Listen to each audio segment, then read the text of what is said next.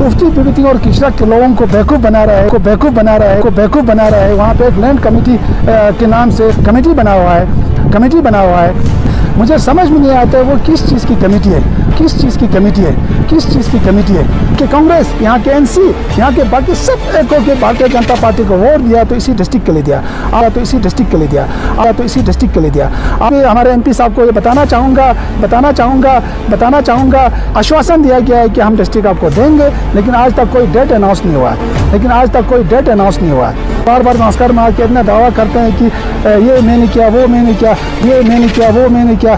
किसी और के काम किए हो किसी सिर्फ़ रिबन करना ही आपका काम है। तो ये रिबन करना ही आपका काम है। तो ये बहुत अफसोस की बात है, बहुत अफसोस की बात है। आपको सिर्फ़ संस्कार वालों ने एक ही चीज़ के लिए वोट दिया था, वो है हमारा डिस्ट्रिक्ट, वो है हमारा डिस्ट्रिक्ट, वो है हमारा डिस्ट्रिक्ट।